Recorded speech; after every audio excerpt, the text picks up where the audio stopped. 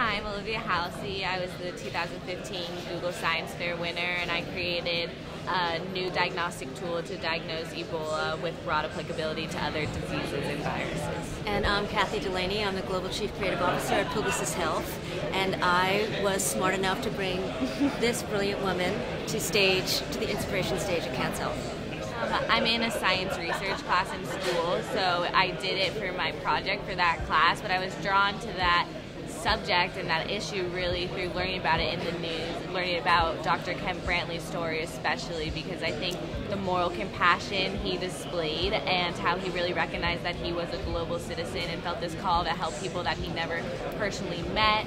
Um, I was really inspired by that idea and I wanted to emulate that so I tried to address the problem I saw which was how Ebola is currently diagnosed.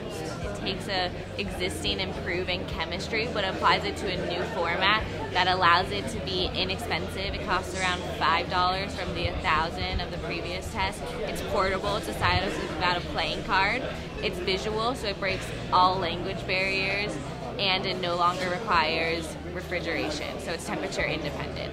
The most positive change that I've seen in the industry is a much bigger premium being put on great creative.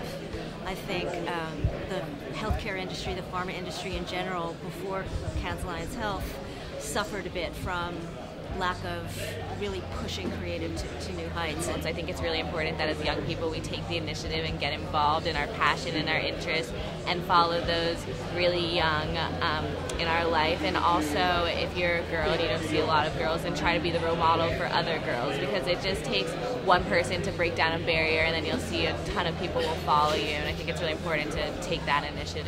I think we could learn a lot from a sophomore in high school because I think what we need to do is to really be empathetic to the different conditions that are out there in the world and to use that empathy to innovate and to create new ways of thinking and new ways of solving issues and making people's lives better. I personally have way more clients than ever before who are evaluating work and saying, is this something that's going to actually place at Cannes? And that to me is a remarkable thing and something that I, I think will keep snowballing as we go. Clients want to have their work celebrated on, on a scale as grand as Cannes Health. So I think it's really helping things.